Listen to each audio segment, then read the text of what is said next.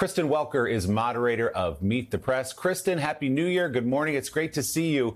Um, so, as Ali said there, Donald Trump yesterday in Iowa didn't have a lot to say about January 6th on the third anniversary, other than should release people from prison who were convicted at trial there. Meanwhile, President Biden on Friday in Valley Forge, Pennsylvania, did talk about democracy, did talk about the stakes, as he put them, of this election. Perhaps, according to some of your new reporting, with an assist on that strategy from his former boss.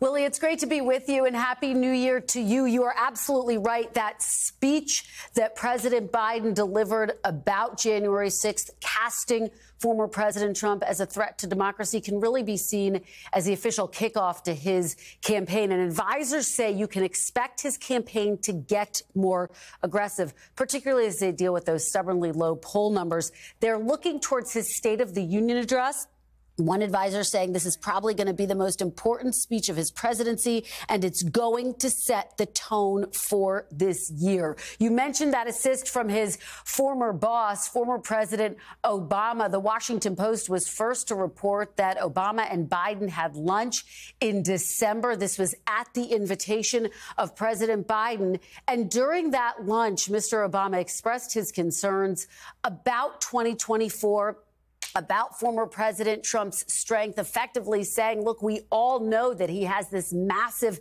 and loyal following. The Washington Post also reporting that Obama called for structural changes to the campaign. So it'll be notable to see if that actually happens. I've been talking to Democratic strategists who say, look, the real concern is that the campaign kind of brushes aside criticism and doesn't do anything with it. Will they this time around? So expect the Biden campaign to ramp up. And again, a key focus on the State of the Union address, which is set for March 7th, Willie.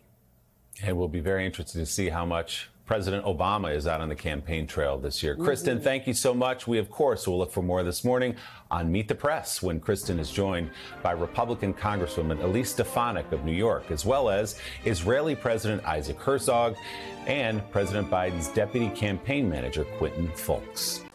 Hey, thanks for watching. Don't miss the Today Show every weekday at 11 a.m. Eastern, 8 Pacific on our streaming channel, Today All Day. To watch, head to today.com slash all day or click the link right here.